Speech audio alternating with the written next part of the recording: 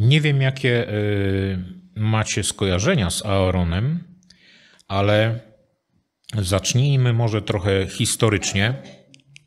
Chociaż też z kolei z drugiej strony mówi się, że ludzkość pokazuje, że nie uczy się z historii. Historia pokazuje, że ludzkość nie uczy się z historii. Ale trochę y, z historii teraz będziemy y, mieli. Otwórzmy sobie drugą księgę Mojżeszową, czyli Księgę Wyjścia i popatrzmy na y, wersety w rozdziale szóstym, wersety od 16 po 20. Jest to rodowód Aarona, ale także i Mojżesza. Czytam. A oto imiona synów Lewiego według ich rodowodów: Gerszon i Kehat i Merari. A lat życia Lewiego było 137. Synowie Gerszona to Libni i Shimei według ich rodzin, a synowie Kehata to Amram i Ishar i Hebron i Uzziel. A lat życia Kehata było 133 lata. A synowie Meriariego to Machli i Muszli. To są rodziny Lewiego według ich rodowodów. A Amram pojął za żonę Jokebet, swoją ciotkę. Ta zaś urodziła mu Aarona i Mojżesza, a lat życia Amrama było 137. Y, z tych wersetów dowiadujemy się, że y, zarówno Aaron, jak i Mojżesz pochodzili z rodu Lewiego i to w bezpośredniej linii. E, chociaż jeśli chodzi o Aarona, to wyczytałem coś, na co nie zwróciłem uwagi, ale tutaj jest to też wyszczególnione, że Aaron e, był prawnukiem Lewiego, ale jednocześnie, ale to był prawnukiem po linii ojca, natomiast był wnukiem po linii matki. Czyli jednocześnie był i prawnukiem, i wnukiem. Taka ciekawostka rodzinna. No i teraz Biblia nam sprawozdaje, że Aaron był bratem Mojżesza i był od niego starszy o trzy lata. Uniknął w jakiś sposób y, mm, tej rzezi, y, rzezi chłopców y, w momencie, kiedy mm, na tronie egipskim zasiadł faraon, który nie znał Józefa i zaczął gnębić lud izraelski. I wtedy był, było wydane polecenie, żeby każdego chłopca izraelskiego zabijać, a dziewczynki zachowywać przy życiu. Mojżesz został uratowany i historię Mojżesza znamy. On przez różne jakieś tam takie wypadki życiowe, losowe, znalazł się oko w oko z Bogiem i został wyznaczony do tego, aby wyprowadzić lud izraelski z Egiptu. Ale zobaczcie, że Mojżesz nie za bardzo się do tego garnął, miał potężne obawy. Y, I Bóg wyznaczył mu pomocnika w osobie właśnie jego brata, Aarona. Zobaczcie, jak to się odbyło. I zobaczmy drugą księgę Mojżeszową, rozdział czwarty, wersety 11 po 16.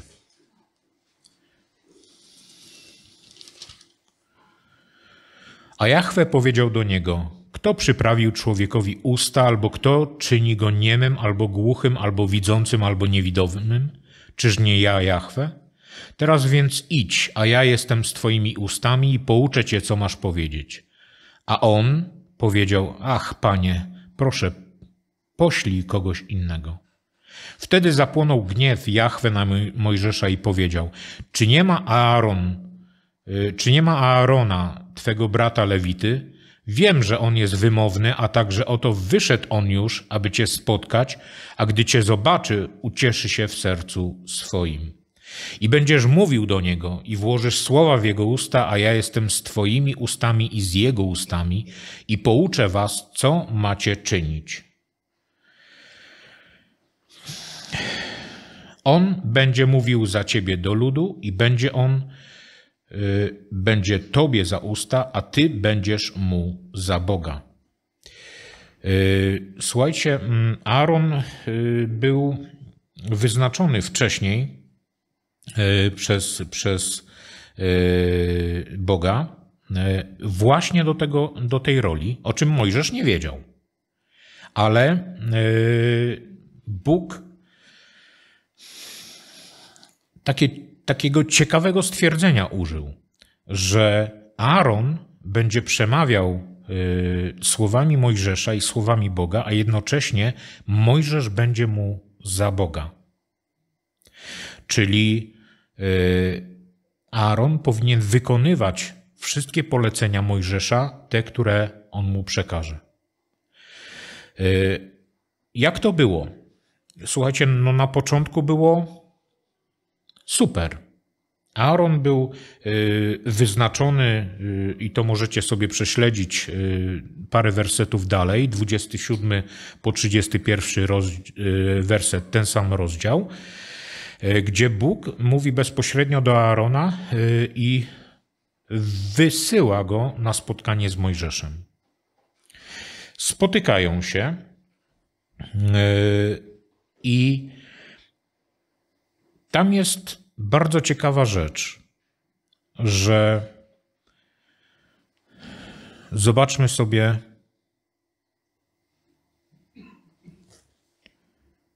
wersety 29 i 30, a później przeczytamy 31. E, jesteśmy w czwartym rozdziale. Potem poszedł Mojżesz z Aaronem i zebrali wszystkich, którzy byli starszymi synów Izraela. I Aaron przekazał im wszystkie słowa, które Jahwe wypowiedział do Mojżesza, ten zaś dokonał znaków na oczach ludu. Czyli y, jak Mojżesz i Aaron poszli razem do ludu izraelskiego, to Mojżesz y, dokonywał cudów w imię Boże, żeby lud przekonać. I Aaron był świadkiem tych cudów. On był przy Mojżeszu cały czas i był świadkiem tych cudów. Być może Aaron w tym momencie też został przekonany, ale jednak yy, działał cały czas ramię w ramię z Mojżeszem. I w 31 wersecie mamy efekt. I lud uwierzył, a gdy usłyszeli, że Jahwe nawiedził synów Izraela, iż dostrzegł ich niedole, pochylili się i złożyli pokłon. Oddali cześć Bogu. No ale słuchajcie, Aaron, y, widząc te cuda, został przygotowany y, na to, co y, Bóg zamierza zrobić z ludem izraelskim, i także został przygotowany na to, aby wystąpić przed faraonem razem z Mojżeszem. E, Faraon był władcą życia i śmierci e, na tej ziemi. Więc udanie się do niego i przedstawienie mu jakichkolwiek żądań, e, które mogłyby ich narazić na gniew faraona, mogło się dla nich bardzo szybko skończyć. Ale myślę, że te cuda te cuda, które y, były pokazane ludowi izraelskiemu, y, przekonały y, zarówno Mojżesza i Aarona, albo inaczej, utwierdziły ich w tym przekonaniu, że Bóg jest z nimi i że Bóg ich ochroni. Natomiast jaki był lud izraelski? W momencie, gdy Mojżesz i Aaron przedstawili e, żądania Boga e, w stosunku do ludu izraelskiego i faraona, faraon się bardzo się zdenerwował. Bardzo się zdenerwował. I obłożył lud izraelski jeszcze większymi obowiązkami. Zabronił im dawać słomę do wyrobu cegieł, mieli sami zbierać, a jednocześnie utrzymał ten sam limit w tym samym akordzie mieli pracować. I oni y, poszli prosić faraona o, o, o zelżenie, jak gdyby, tych obowiązków, ale faraon się na to nie zgodził. I gdy przedstawiciele ludu izraelskiego wychodzili od faraona, y, powiedzieli y, Mojżeszowi i Aaronowi w ten sposób. I to mamy w drugiej księdze wyjścia, piąty rozdział, wersety 20 po 21. Dopadli więc Mojżesza i Aarona, którzy stali, aby ich spotkać przy wychodzeniu od Faraona. I powiedzieli do nich, niech spojrzy Jahwe na was i osądzi was za to, że zepsuliście nasz zapach w oczach Faraona i w oczach jego sług, by dać miecz w ich rękę i by nas wycięli.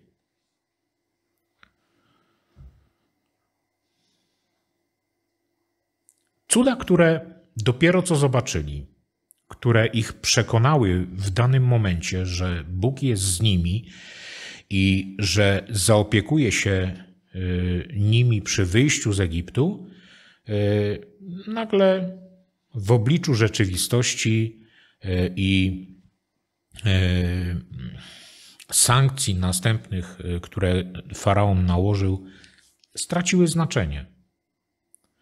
Bardzo szybko popadli e, w rozpacz i wręcz e, powiedzieli, że Mojżesz i Aaron są winni tego, że, że faraon ich wykończy. E, ale co się dzieje dalej? Zobaczcie sobie, jak dalej Bóg działa. Mamy rozdział siódmy i wersety jeden po dwa. I powiedział Jahwe do Mojżesza: Zobacz, uczyniłem cię Bogiem dla faraona, a Aaron, twój brat, będzie twoim prorokiem. Ty będziesz oznajmiał wszystko, co ci rozkaże, a Aaron, twój brat, będzie przemawiał do faraona, aby wypuścił synów Izraela ze swojej ziemi.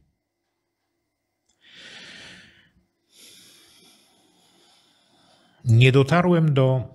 Yy zapisków, które mówiłyby o roli Aarona przed y, spotkaniem z Mojżeszem. Ale tutaj Bóg ustanawia Aarona prorokiem, czyli y, przekazicielem słów Mojżesza i jednocześnie y, określa, że nadal mają we dwójkę tam do faraona chodzić i oznajmiać mu wolę Bożą. Jaka jest wola Boga? Y, czy Bóg pracował nad Aaronem, czy y, Aaron tak sam z siebie postanowił, że ach, Bóg jest taki wspaniały i y, poświęcę mu się całym sercem i będę robił wszystko, co on rozkaże.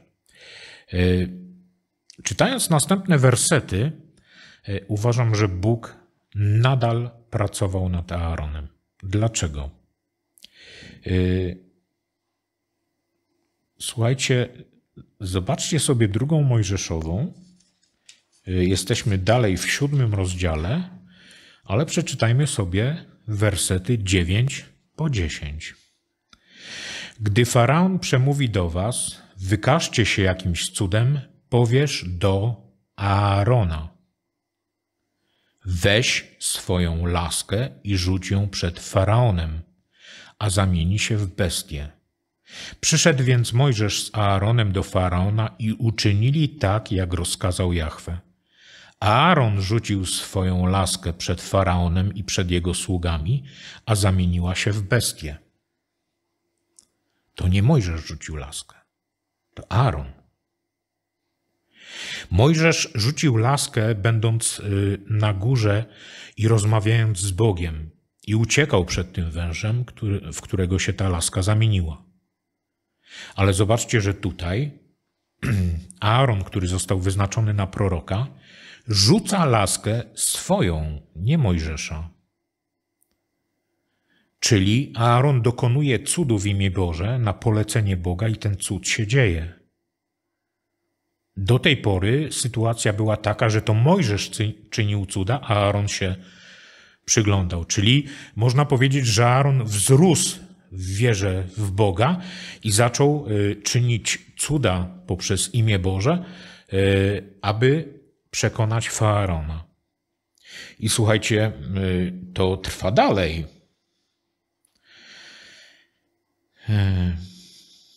Jesteśmy dalej w siódmym wersecie, ale zobaczmy sobie wersety 19 po 20.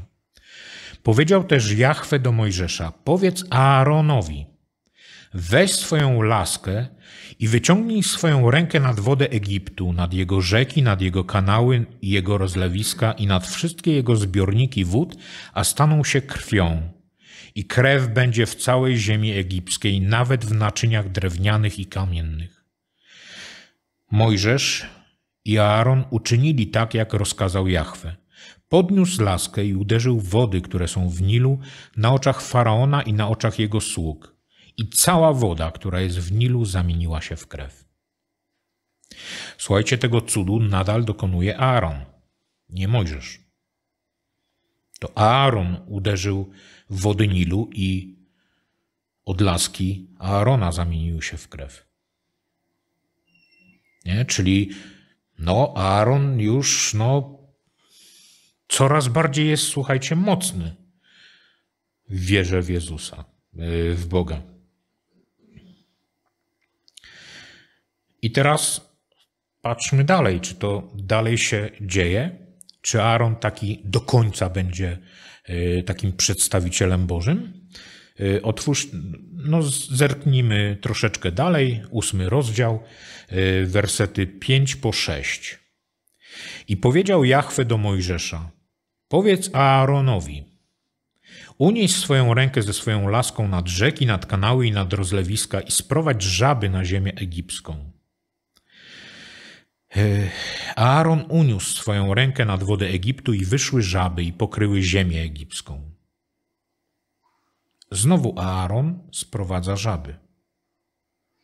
Następna plaga. I yy, no, wzrasta. Aaron wzrasta. Jest dużą pomocą y, dla Mojżesza, ale już nie tylko w przemawianiu, czego y, Mojżesz się najbardziej obawiał, że nie będzie potrafiał przemawiać. Aaron także czyni cuda. Nie tylko przemawia za Mojżesza, ale także czyni cuda. E, zobaczmy sobie dalej. Jesteśmy dalej. Ósmy rozdział, 16 po 17.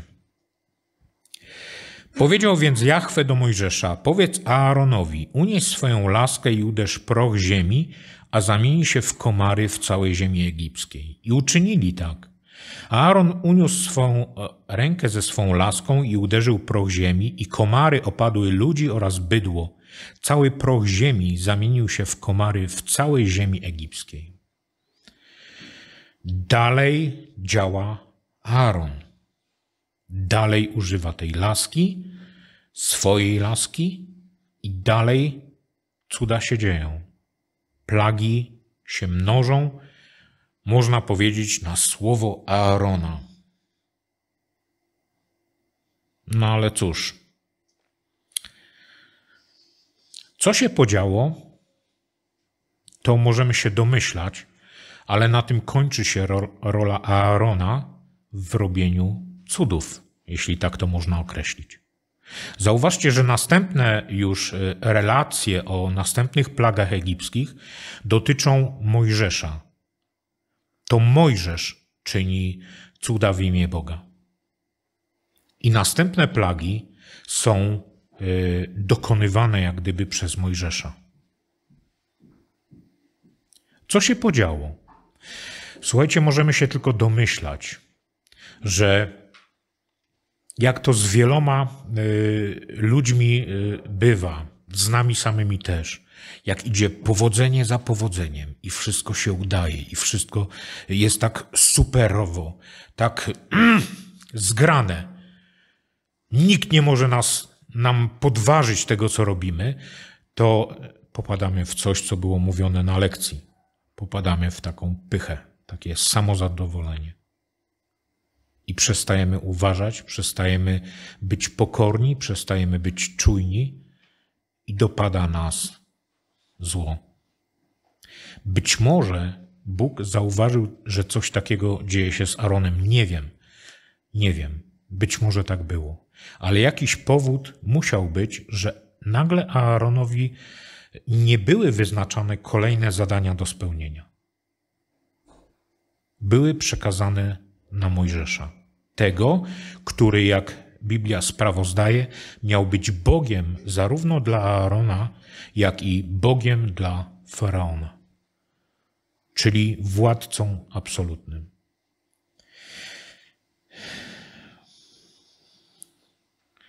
Słuchajcie, oni ze sobą, Mojżesz i Aaron byli um, tak ściśle powiązani, cały czas y, y, działali razem, mówili praktycznie to samo. No bo w jaki sposób Mojżesz przekazywał słowa Aaronowi?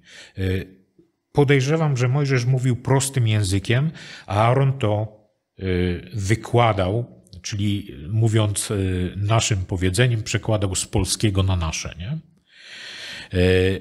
I ludzie ich kojarzyli jako braci, a jednocześnie dwóch nierozłącznych proroków.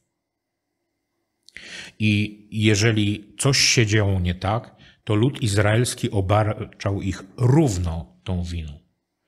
I to mamy powiedziane króciutko w drugiej księdze wyjścia, szesnasty rozdział, drugi werset, który brzmi tak. I szemrali na pustyni całe zgromadzenie synów Izraela przeciw Mojżeszowi i przeciw Aaronowi.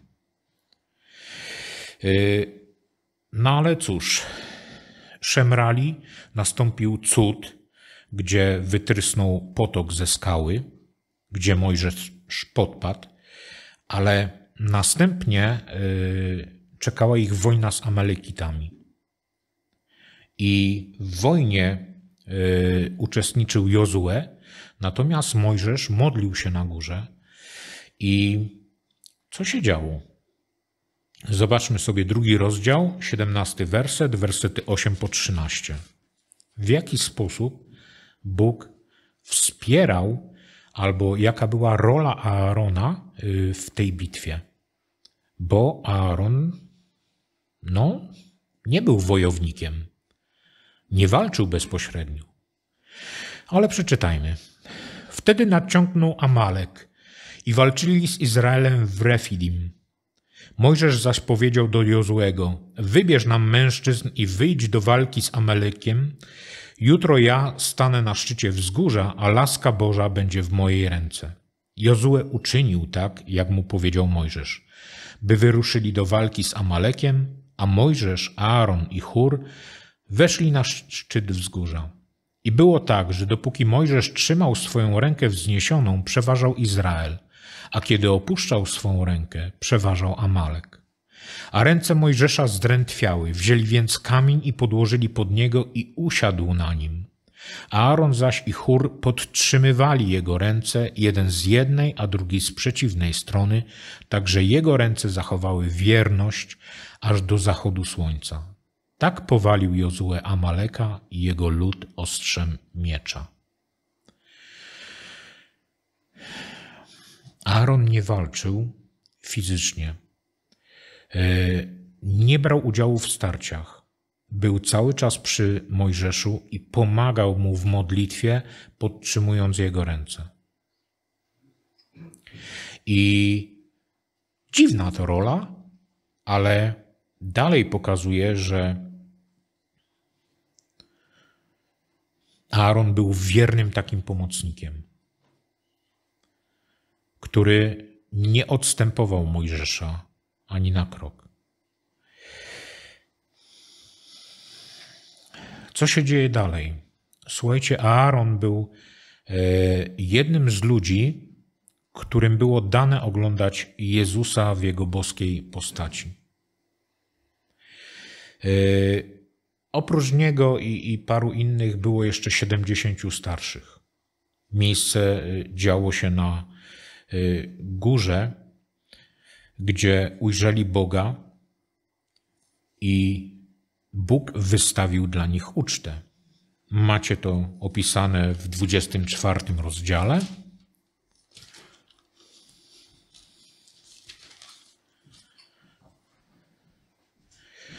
wersety 9 po 11.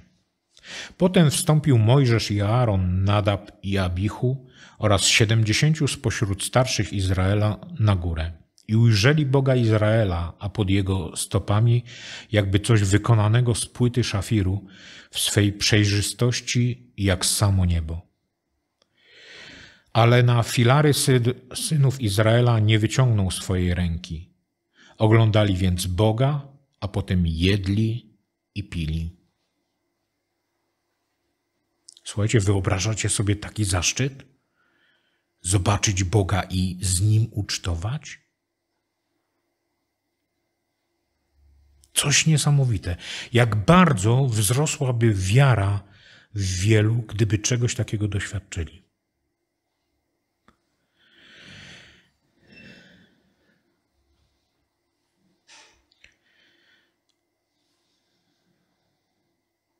Później Bóg wyznacza Aarona na przewódcę ludu izraelskiego jako kapłana.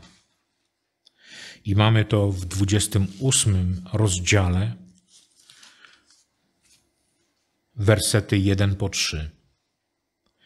A ty każ, by spośród synów Izraela zbliżyli się do ciebie Aaron, twój brat i jego synowie z nim, dla sprawowania mi przez niego kapłaństwa. Mają to być Aaron, Nadab i Abichu, Eleazar i Itamar, synowie Aarona. W tym celu sporządzisz dla Aarona, twego brata, święte szaty na chwałę i dla ozdoby. Ty sam porozmawiasz też ze wszystkimi mądrego serca, których wypełniłem duchem mądrości, aby zrobili szaty dla Aarona, dla jego poświęcenia i sprawowania mi kapłaństwa. Bóg nie zapomina o Aaronie, wręcz wyznacza go, żeby on przewodził ludowi jako kapłan, żeby jako kapłan oznajmiał prawa Boże i żeby jako kapłan pilnował i doradzał, jak ich przestrzegać. Następnie Aaron miał być wyświęcony, to jest opisane w 29 rozdziale Księgi Wyjścia, nie będziemy czytać. Ale zobaczcie, człowiek, który pochodzi z rodu kapłańskiego, z rodu Lewitów, który doświadcza cudów. Bóg daje mu czynić cudy, cuda e, przed faraonem. Cuda, których no, praktycznie nikt nie potrafił powtórzyć, a przynajmniej nie w takiej skali. Człowiek, który widział Boga, który razem z Bogiem ucztował, który został przeznaczony na arcykapłana.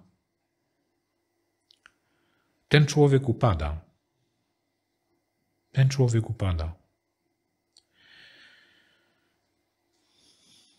Nie ma mocy, żeby przeciwstawić się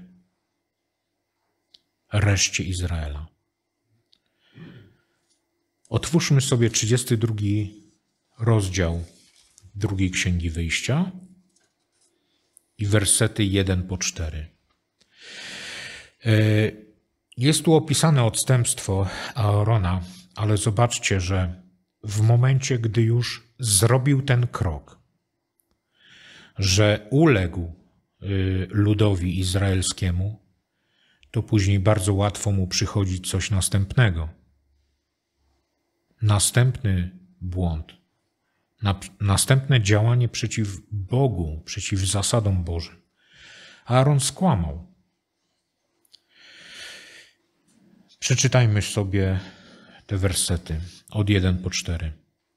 A gdy lud widział, że Mojżesz opóźnia zejście z góry, zgromadzili się, zgromadził się wokół Aarona i powiedzieli do niego, wstań, zrób nam jakiś bogów, którzy poszliby przed nami, bo ten Mojżesz, człowiek, który nas wywiódł z ziemi egipskiej, nie wiemy, co się z nim stało. Wtedy Aaron powiedział do nich, poodczepiajcie złote kolczyki, które mają w uszach wasze żony, wasi synowie i wasze córki i przynieście do mnie. Odczepili więc sobie cały lud, złote kolczyki, które były w ich uszach i przynieśli do Aarona. I przyjął je z ich rąk, nakreślił go rylcem i zrobił go w kształcie odlewu cielca i powiedzieli to twoi bogowie Izraelu, którzy cię wywiedli z ziemi egipskiej.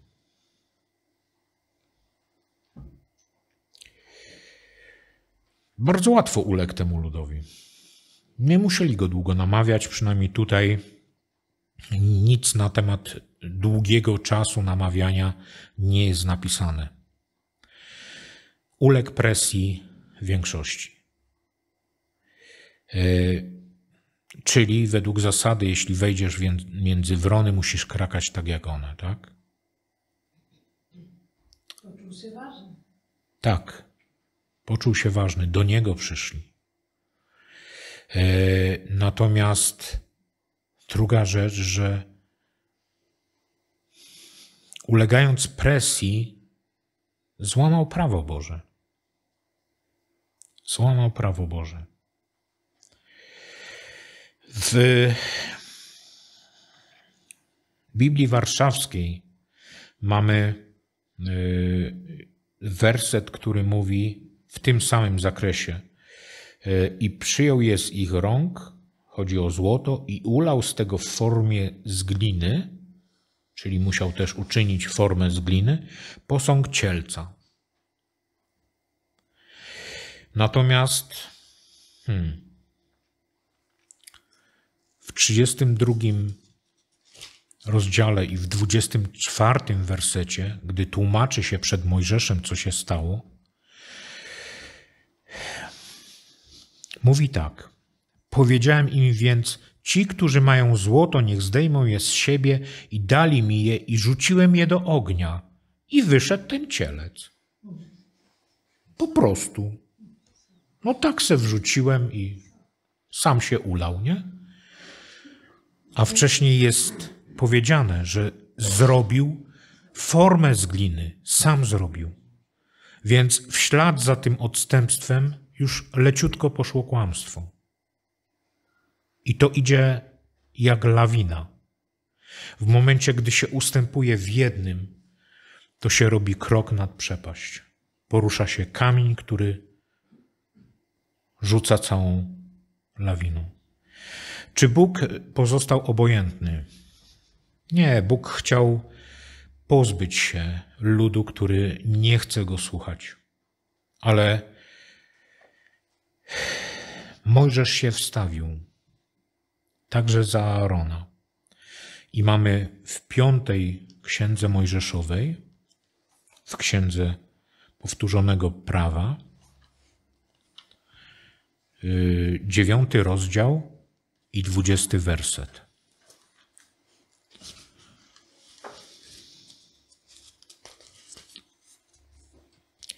Również na Aarona Jahwe bardzo się rozgniewał i gotów był go zgładzić.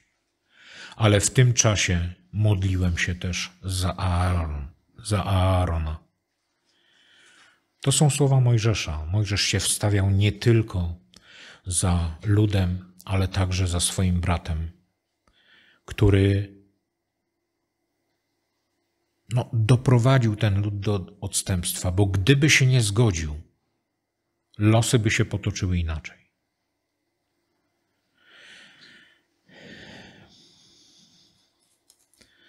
Bóg jednak po wstawiennictwie Mojżesza wybacza Aaronowi i zobaczmy sobie Księgę Liczb, to jest czwarta Mojżeszowa, e, rozdział 17.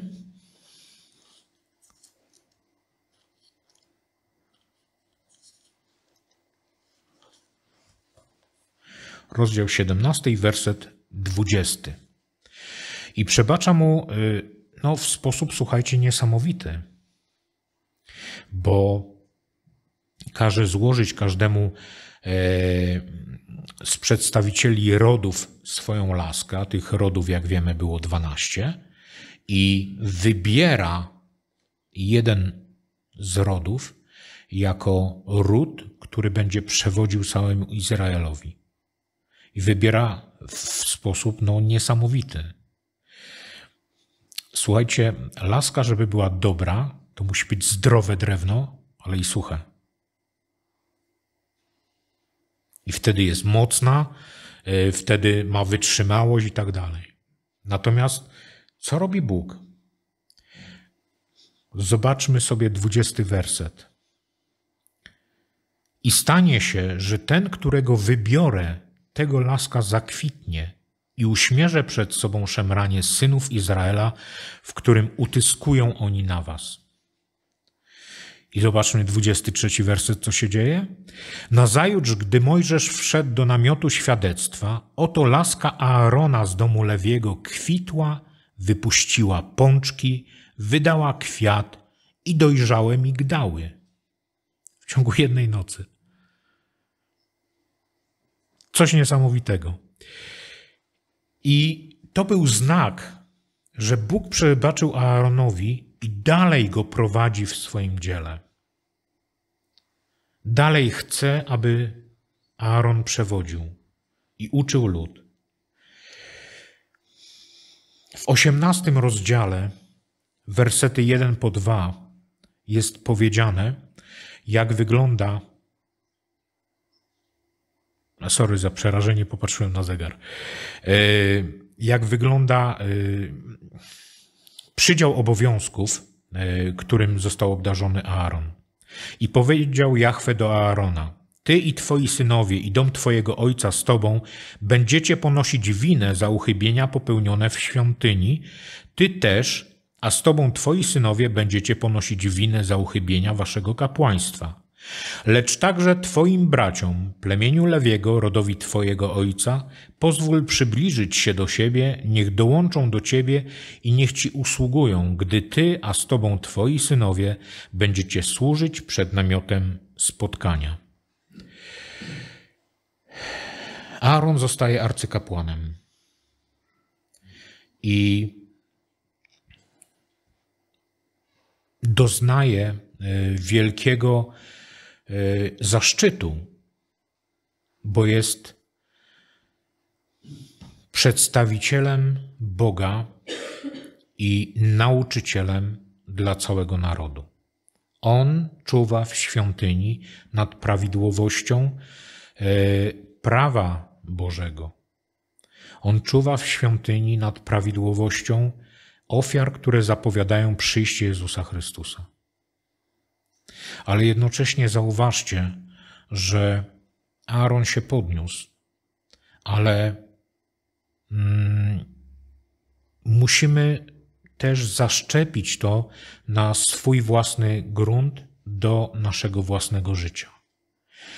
Bo niestety, ale szatan jest bardzo sprytny.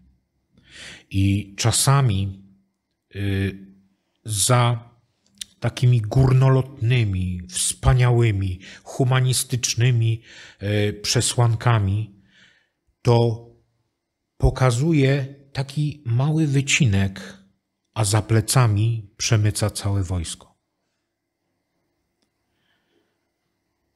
Nie powinienem mówić o polityce, ale nie będę mówił. Będę mówił o czymś innym. E, Słuchajcie, rozmawiałem osta ostatnio, dosłownie ostatnio, wczoraj, z jedną osobą na temat tego, co się aktualnie dzieje. Yy, o prawach kobiet. I słuchajcie, to, co mówię, pewien wycinek prawa do aborcji jest tak nagłaśniany, że za plecami przemyca się inne, niekorzystne dla kobiet rzeczy. E, słuchając jednego e, z polityków, zwrócił taką ciekawą uwagę. Przepraszam, że mówię o tym, ale e, zwrócił uwagę na coś takiego, że dzieciom kilkunastoletnim zabrania się picia energetyków, między innymi Red Bulla ale kolei pigułka dzień po ma być dostępna.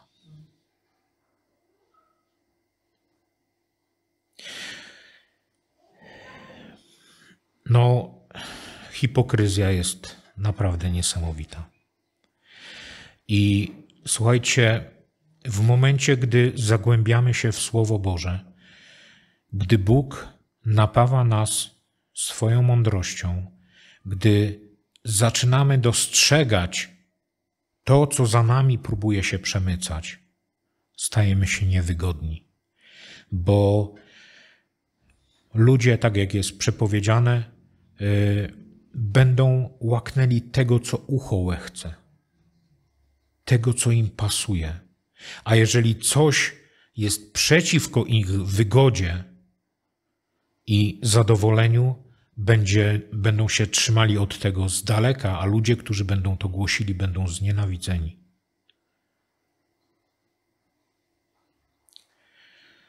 Jaka nauka? Aaron popadł w odstępstwo, ale się nawrócił. Ale trwało to, powiedzmy sobie, stosunkowo krótko. To nawrócenie, to odstępstwo, o jakichś innych y, takich incydentach y, Biblia nie sprawozdaje. Y, mówię o incydentach, w których Aaron dalej jest odstępcą. Wręcz opowiadał się już po tym za Mojżeszem, trzymał stronę Bożą. Ale bitw, Bóg sprawozdaje też w swoim słowie o ludziach, którzy o wiele dłużej cierpieli. Ale wytrwali pomimo tych cierpień, pomimo tych doświadczeń w wierze w Boga, w wierności Bogu.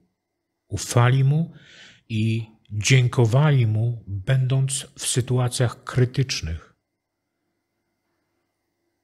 My żyjemy, słuchajcie, w cukierkowym świecie. Naprawdę. Nas na chwilę obecną, jakbyśmy y, zobaczyli, to nas niewiele dotyka nieszczęść. A jednocześnie wiele, wielu z nas jest niezadowolonych z tego, co y, mają, y, z tego, co widzą, z tego, co ich spotyka.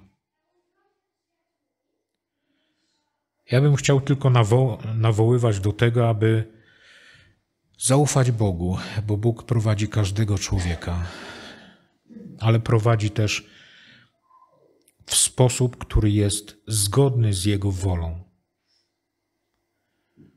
Czasami y, to, na co my czekamy, co uważamy, że jest dla nas dobre, wcale takie nie jest. I Bóg zsyła nam coś zupełnie innego, i dopiero po czasie jesteśmy w stanie docenić, że ta droga była właściwa. I pozostaje nam wtedy tylko dziękować Bogu i wysławiać Jego imię. Amen. Amen.